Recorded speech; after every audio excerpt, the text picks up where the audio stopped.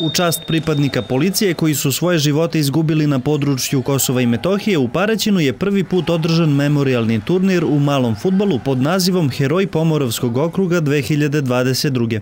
Učestvovalo je ukupno 10 ekipa, jedna iz Severne Makedonije, a pored domaćina ostale su bile iz gradova poput Niša, Kragujevca, Zaječara, Požarevca, Šida, Preševa, Leskovca i Kraljeva. Turnir je nakon dodele plaketa članovima porodica nastradalih policajaca otvorio zamenik predsjednice Skupštine opštine Paraćin Miloš Đokić.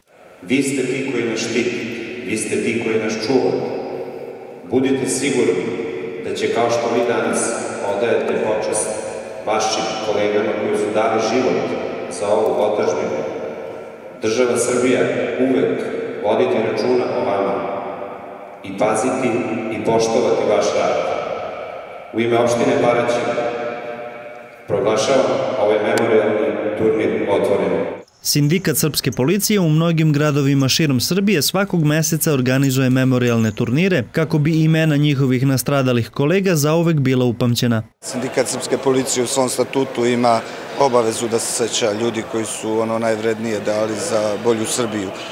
Prvi memorialni turnir Heroji Pomoravskog okruga je na nas u Paraćinu jedna obaveza više za nas, ali slatka obaveza.